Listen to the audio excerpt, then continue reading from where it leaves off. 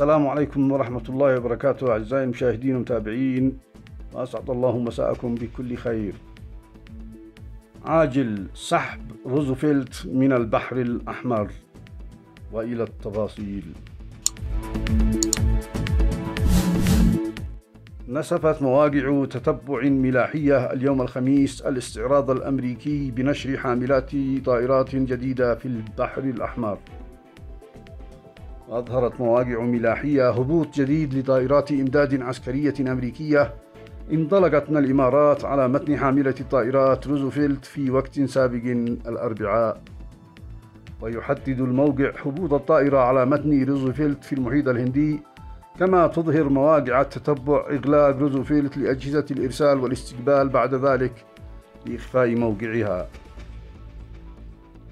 من جانبه نشر خبير أمريكي متخصص بالشؤون العسكرية في الشرق الأوسط وأفريقيا صورا يؤكد فيها بأن حاملة الطائرات الأمريكية روزوفيلت موجودة حاليا في المحيط الهندي.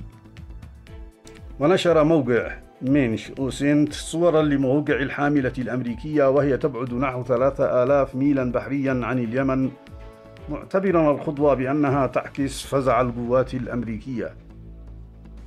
وكانت القيادة المركزية للقوات الأمريكية زعمت الأسبوع الماضي إعادة روزفلت إلى البحر الأحمر بعد عدة أسابيع على سحب حاملة الطائرات آيزنهاور التي تعرضت لسلسلة هجمات يمنية. البحر الأحمر.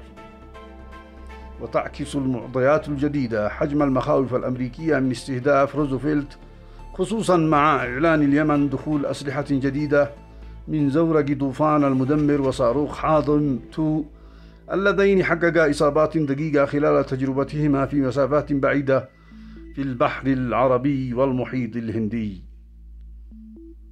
أشكركم على حسن متابعتي والإصغاء. لا تنسوا الإعجاب والتعليق على الفيديو والاشتراك في القناة وتفعيل جرس التنبيهات. والسلام عليكم ورحمة الله وبركاته.